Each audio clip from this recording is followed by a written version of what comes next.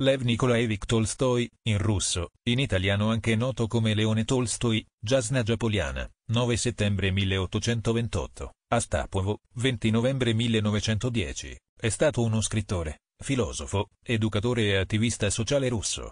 Divenuto celebre in patria grazie a una serie di racconti giovanili sulla realtà della guerra, il nome di Tolstoi acquisì presto risonanza mondiale per il successo dei romanzi Guerra e Pace e Anna Karenina, a cui seguirono altre sue opere narrative sempre più rivolte all'introspezione dei personaggi e alla riflessione morale. La fama di Tolstoi è legata anche al suo pensiero pedagogico, filosofico e religioso, da lui espresso in numerosi saggi e lettere che ispirarono, in particolare, la condotta non violenta dei tolstoiani e del Mahatma Gandhi. Biografia. La vita di Tolstoi fu lunga e tragica, dominata da una profonda tensione.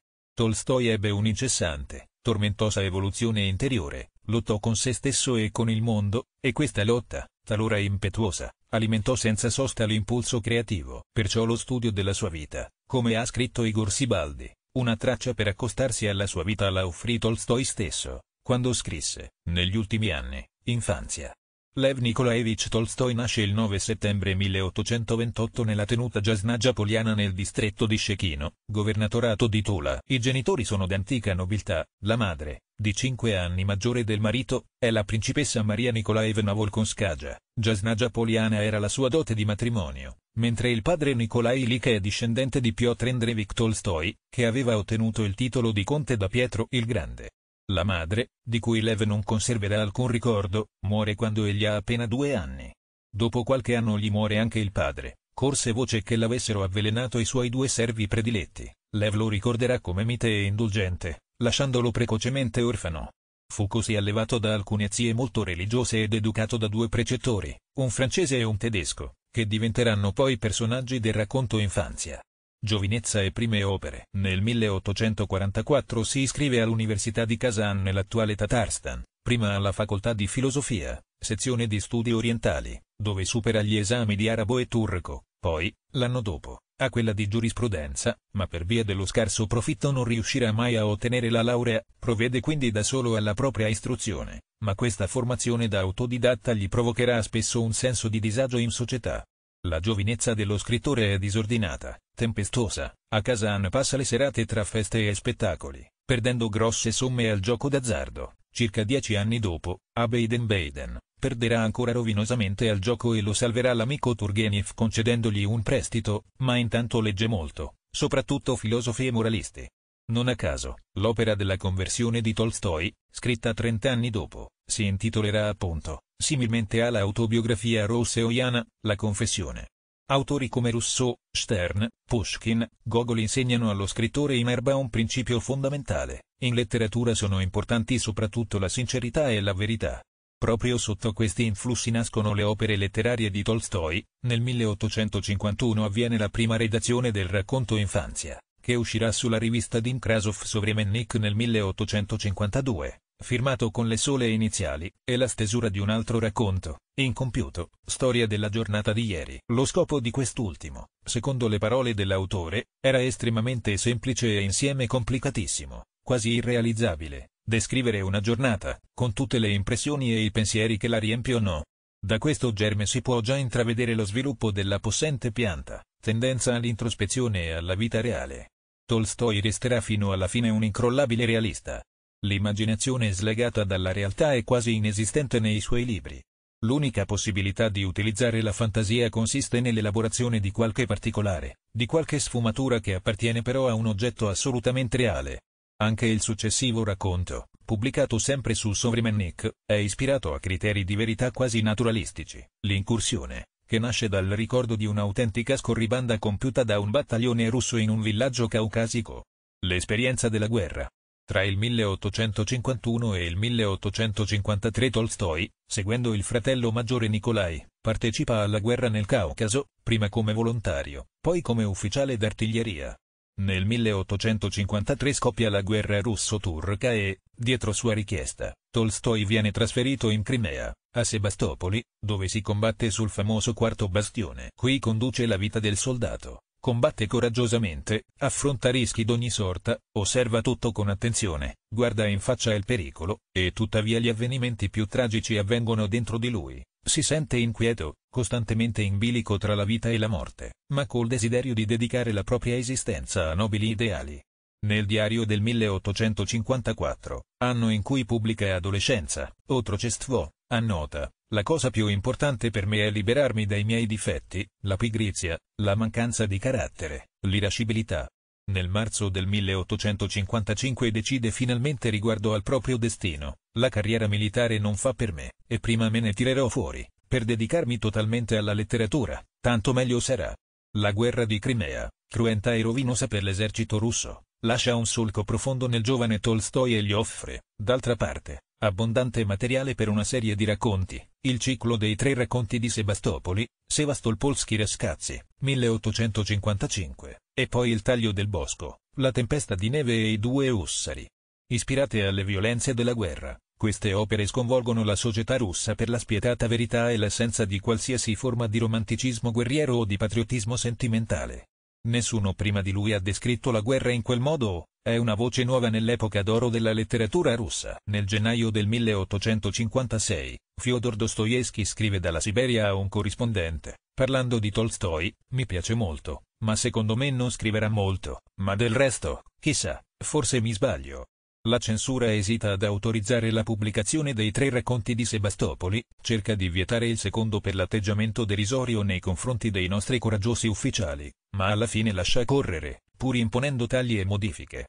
Nel 1856 vengono raccolti in un unico volume con il titolo Racconti di guerra. La sensibilità verso le miserie sociali.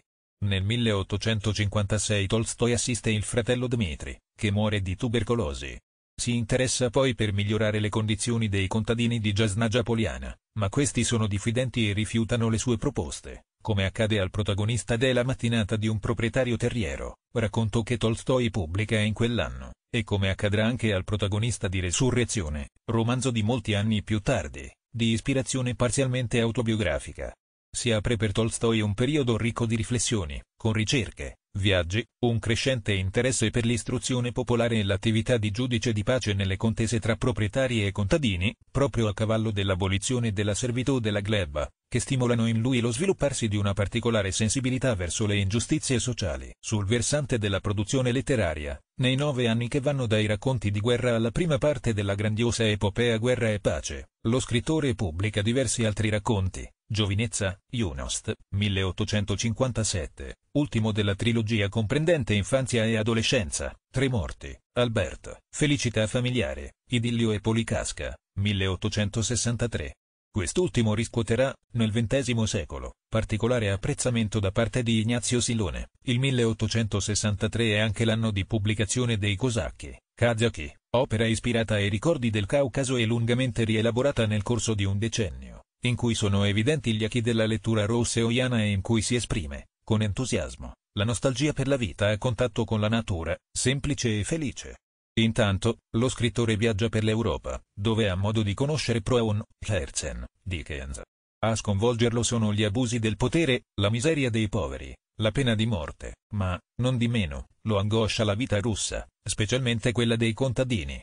In questi anni comincia così a manifestarsi, in maniera sempre più evidente, una caratteristica fondamentale della personalità tolstoiana, l'insoddisfazione di se stesso, della propria esistenza, della propria opera, come Olenin, l'eroe dei cosacchi, che rifiuta la società falsa e ipocrita per rifugiarsi nel Caucaso, anche Tolstoi, all'inizio degli anni 60, decide di abbandonare gli impegni mondani, compresi quelli letterari, per rifugiarsi nella propria tenuta, con l'intento di dedicarsi, nella scuola da lui stesso fondata all'istruzione dei bambini del villaggio.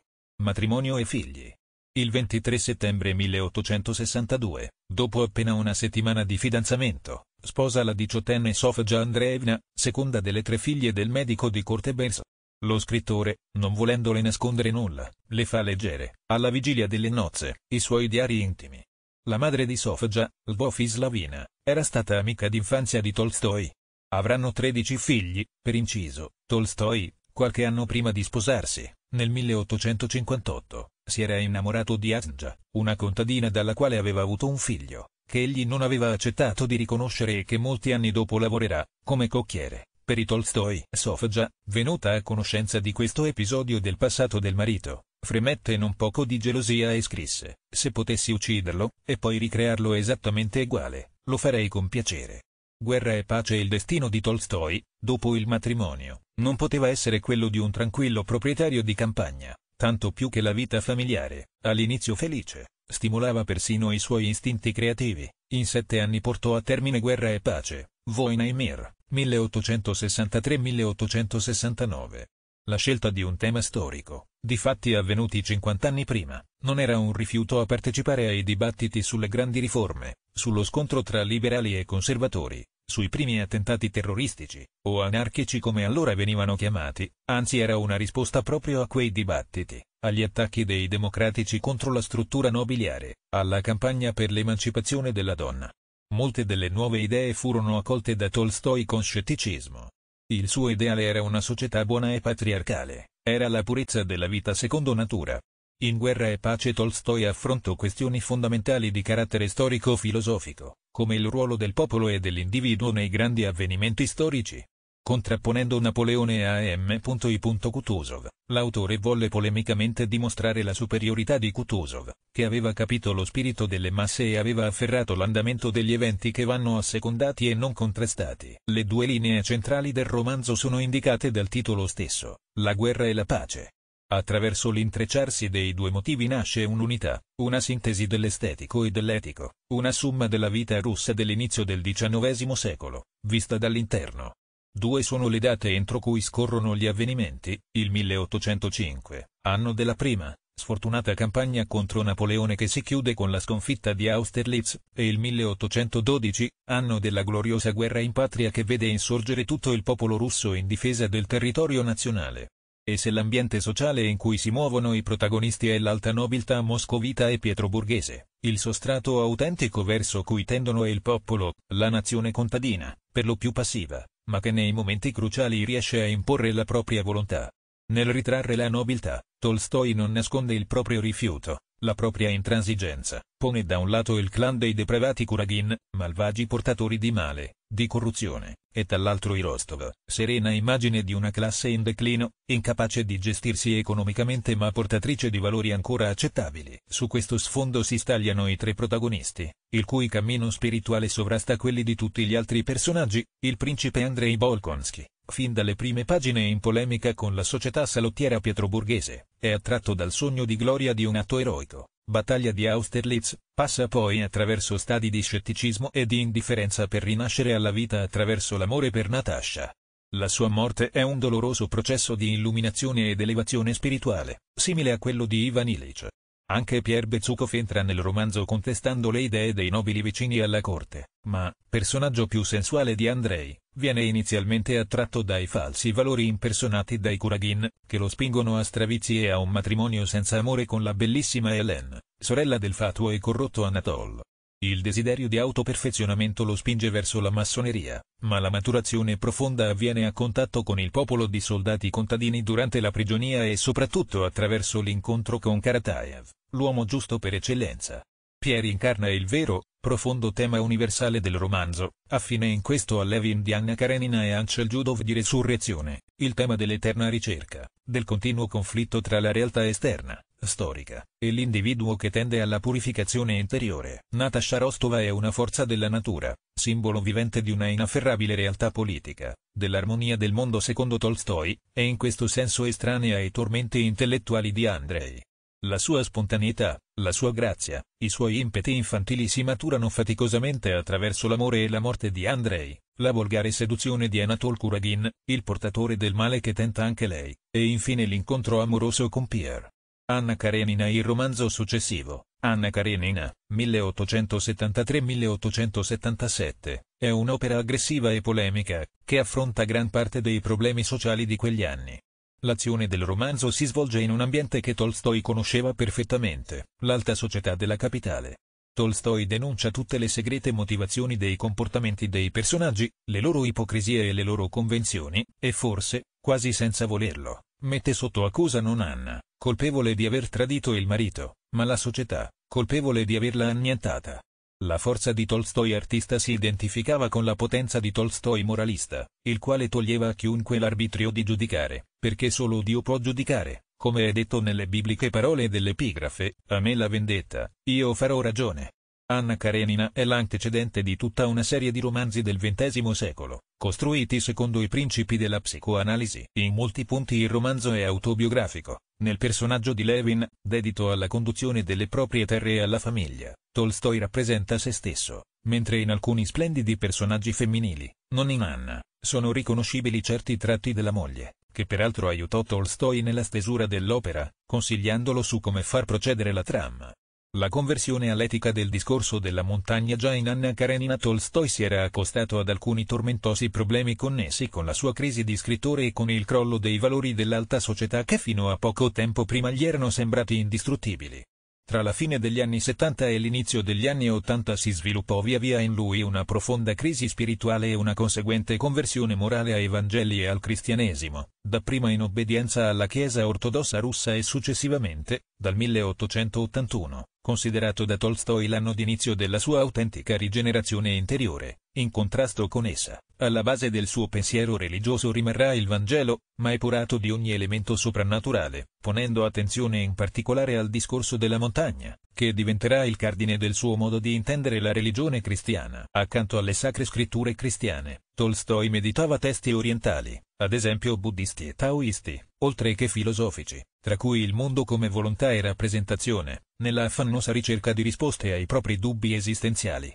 Abbracciò gradualmente una dieta vegetariana, per compassione verso gli animali, e cercò di praticare uno stile di vita di sobrietà e povertà.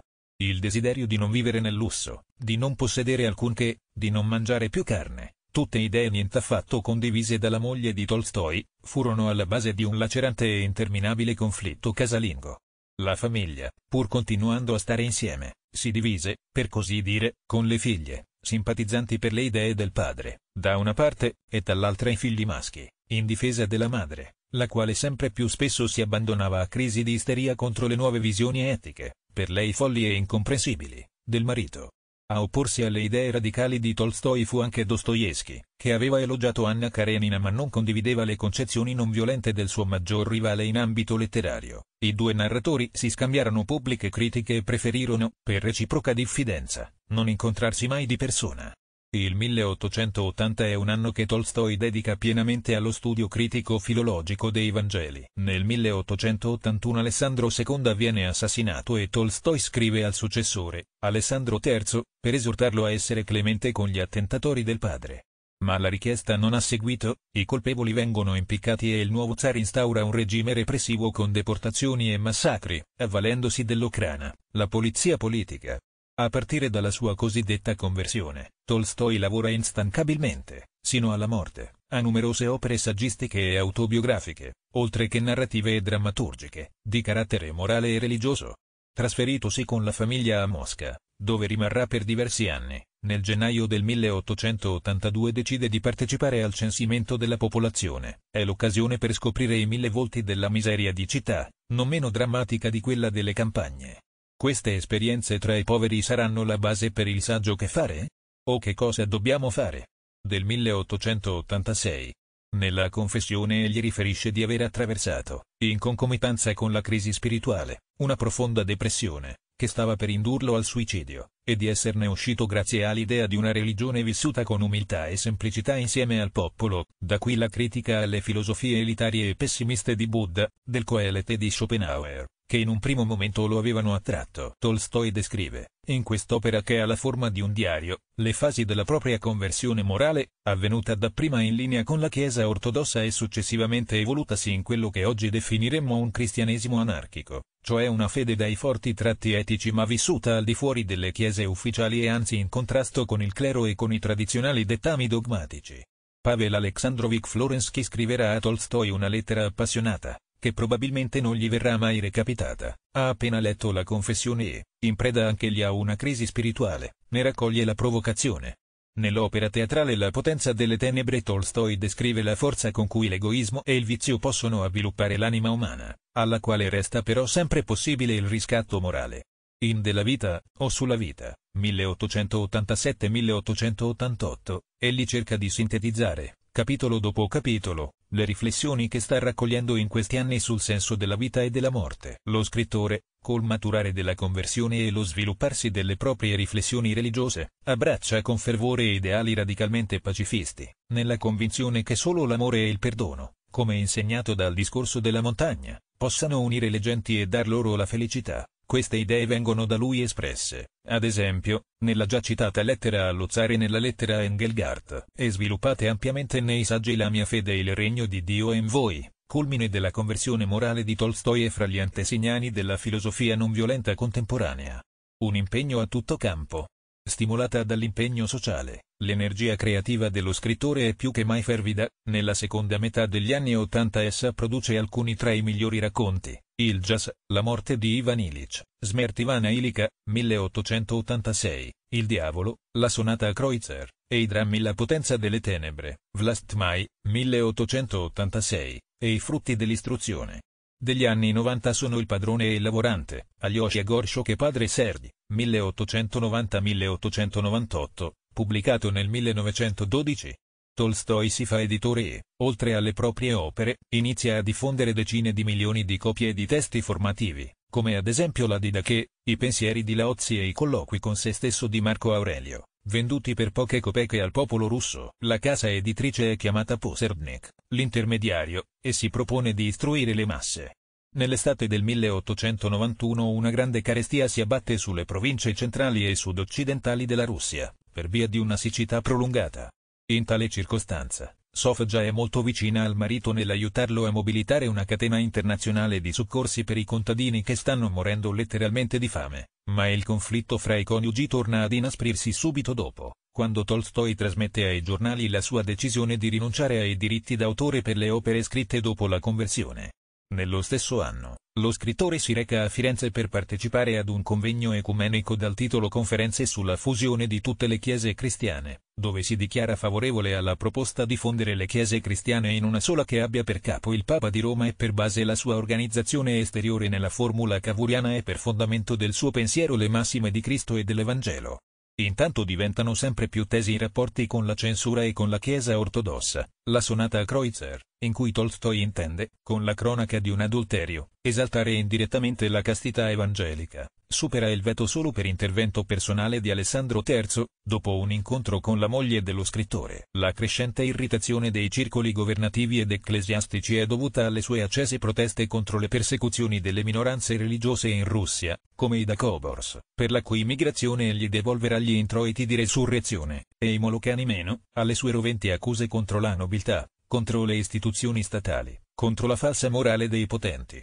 Del 1892 è il primo gradino, a cui seguirà, qualche anno dopo, contro la caccia. Entrambi gli scritti sono degli accalorati manifesti in favore dei diritti degli animali e del vegetarianismo.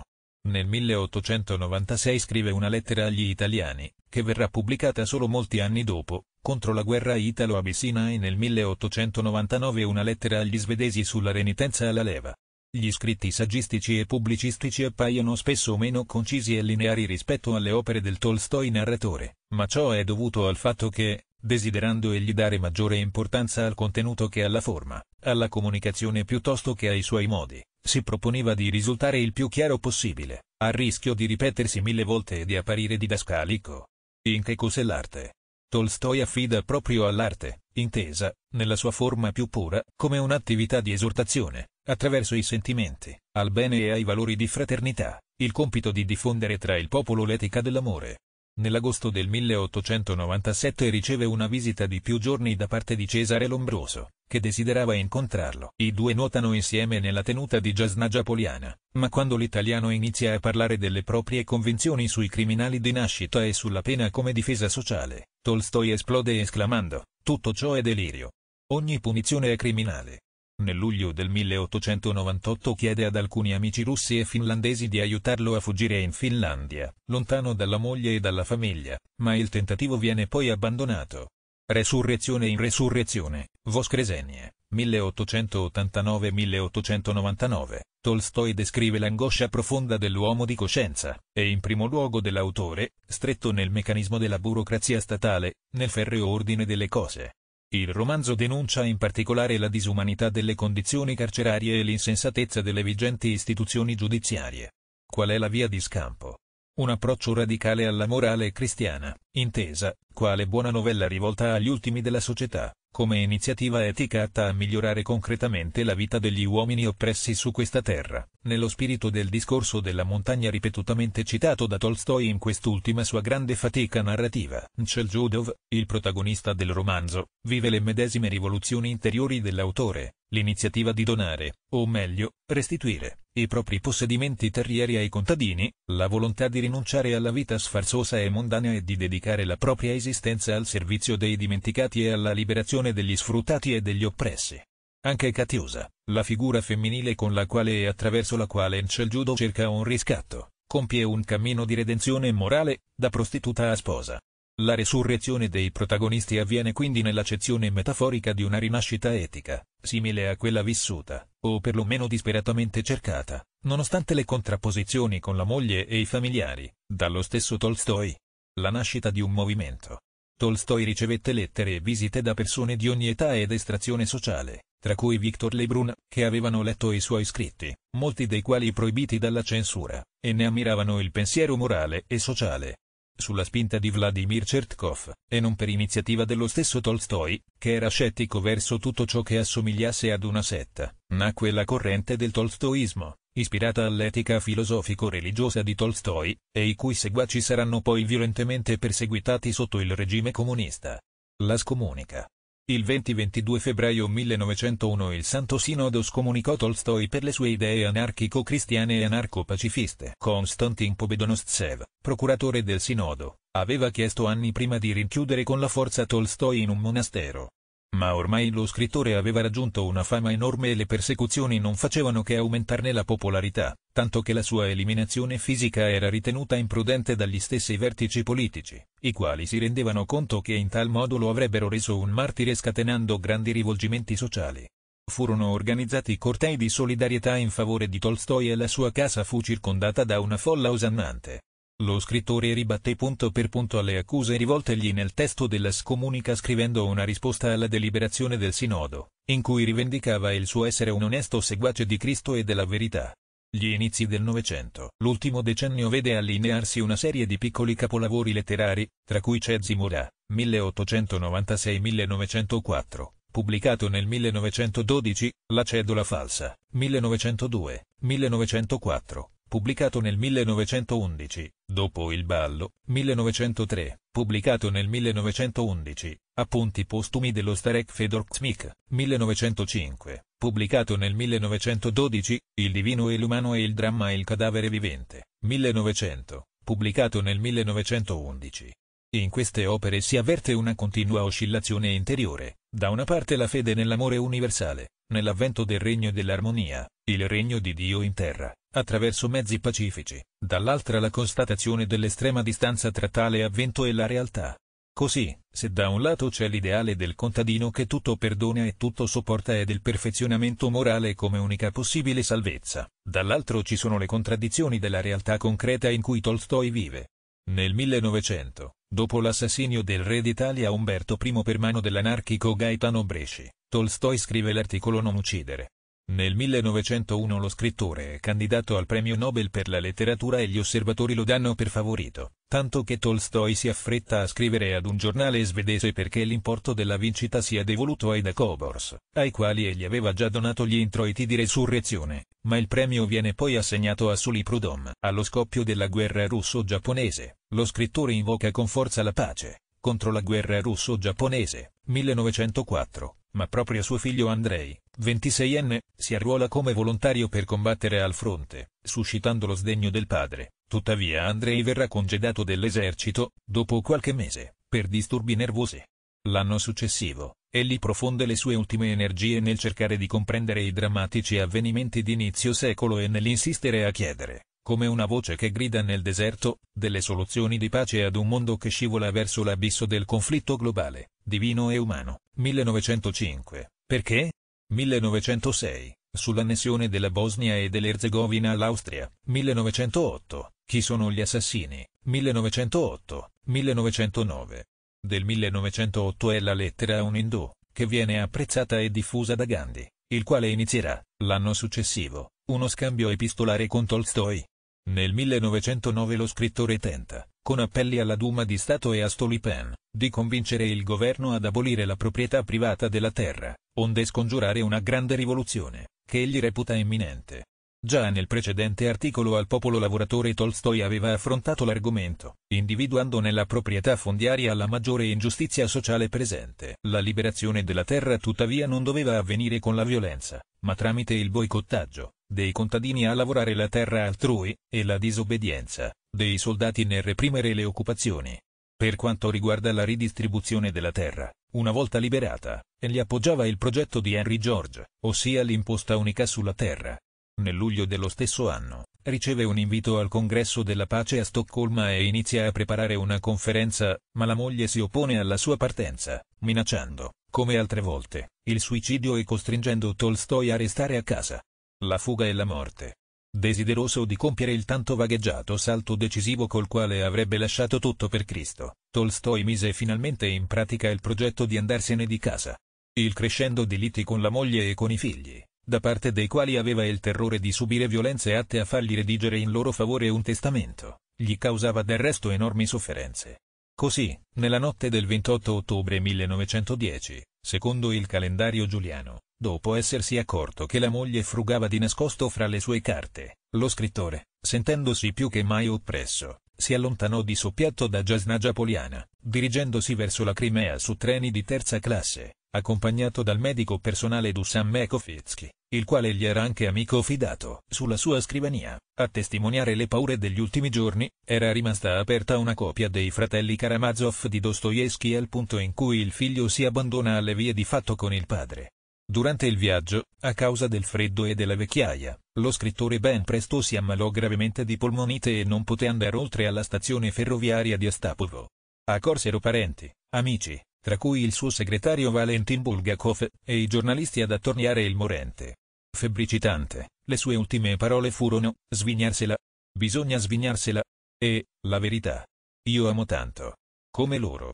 Fu impedito alla moglie di avvicinarsi al capezzale se non poco prima che egli spirasse e quando era ormai già privo di conoscenza, la mattina del 7 novembre 1910. In riferimento a Tolstoi sul letto di morte, la sepoltura. Fu sepolto nei pressi della sua casa. La tomba è semplicissima, con il cumulo di terra e la sola erba, senza croce, senza nome, sull'orlo di un piccolo burrone. Aveva indicato lui il luogo, lo stesso nel quale era sepolto, ricordo dell'amato fratello maggiore Nicolai, un bastoncino verde simbolo delle speranze dell'umanità, anniversari e studi. Decine sono state le manifestazioni organizzate per la ricorrenza dei cento anni della morte dello scrittore, dalla Germania agli Stati Uniti, con la pubblicazione di nuove traduzioni delle sue opere. La tenuta di Jasnaja Poliana rimane il centro dell'attività degli studiosi di Tolstoi e della sua famiglia. Nell'estate 2010 si sono riuniti più di 350 discendenti dello scrittore i quali si incontrano, all'incirca una volta ogni quattro anni, per conoscersi meglio e scambiarsi opinioni sul da farsi. L'informatizzazione dei capolavori e degli studi a loro dedicati è la direzione intrapresa. I russi apprezzano il lavoro finora svolto, a giudicare dai più di 3 milioni di contatti con il sito internet dedicato a Tolstoi. Questo audio usa il materiale della pagina Wikipedia Lev Tolstoi il cui indirizzo è it.wikipedia.org slash wiki slash lev underscore Tolstoi che è rilasciato sotto la licenza Creative Commons, Attribution Share Alike 3.0 Unported, CC by SA 3.0. Vedi informazioni all'indirizzo creativecommons.org slash licenses slash by sa slash 3.0.